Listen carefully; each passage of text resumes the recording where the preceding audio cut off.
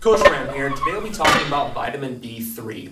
Now, when speaking of its benefits and functions inside the body, it's almost hard to know where to actually start. It controls phosphorus, bone, and calcium metabolism. It has important roles in maintaining blood pressure and immunity and a neurological function, and it even plays a role, it's one of the most potent inhibitors of cancer cell growth. Up here on the board is just some of the things it plays a part in, but unfortunately, when speaking to the general public or just a random person, for the most part, they only think of it as a mood booster, which is really unfortunate because that doesn't even scratch the surface to what it actually does, the totality of what it actually does inside our body. And today I'm going to make an argument that no matter who you are, what your goals are, what your diet's like, you more than likely need this inside your vitamin shelf or whatever it may be.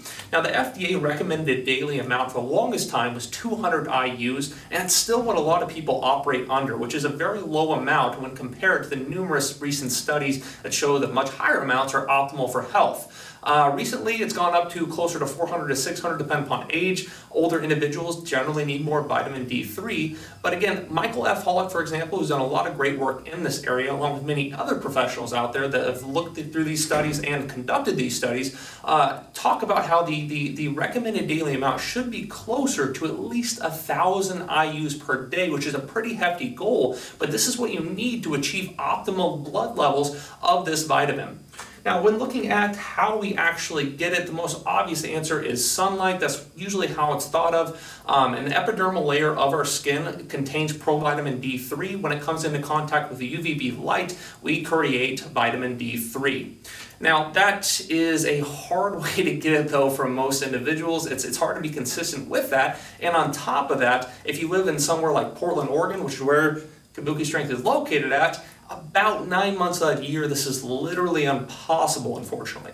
So we have to turn to food. Now, up here on the board, I have some vitamin D3 rich food groups here. Uh, mostly oily fish, mostly salmon, sardines, tuna. These are the foods that have the most vitamin D3. But all of these foods up on the board really depend on how they're cultivated or where you actually get them. Salmon, for example, it says 500 IUs. That's farmed salmon. If we actually catch one in a river, for example, it may be as high as a thousand or more, which is Hey, that's your daily goal. Awesome.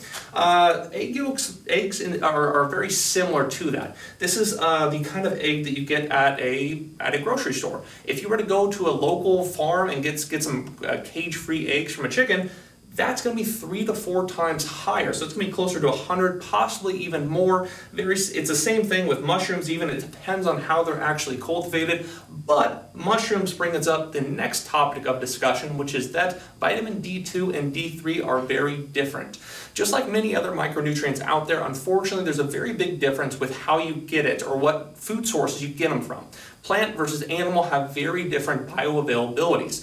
So if we look at heme versus non-heme, iron, for example, iron being the most common micronutrient deficiency in the entire world, heme, coming from animal sources, is far more bioavailable than non-heme, coming from plant sources which is part of the reason why it's the most common deficiency in the world because most people don't know they're deficient in it because they're getting their daily recommended amount through non-heme sources when they need about twice as much because they're getting it from plant sources. And this is very similar.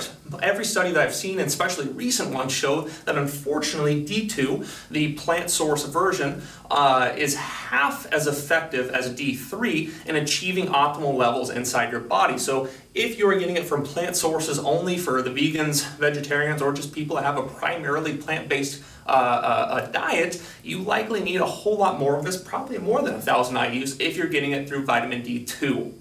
Now, all of these food sources are the most dense kind. Obviously, salmon, sardines, canned tuna, these, these aren't foods that are generally in the typical American diet. These are the more typical amounts, 130 in milk.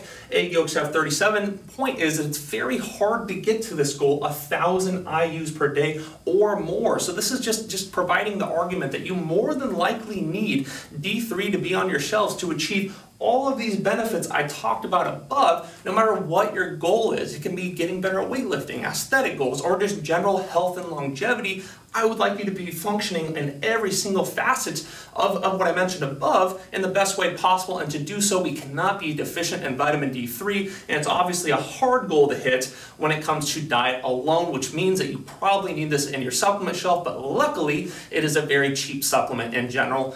10 to 15 bucks, you're set for months. Uh, very easy one to, to get in your hands. I think that's about it for this topic. Brandon Morgan signing out.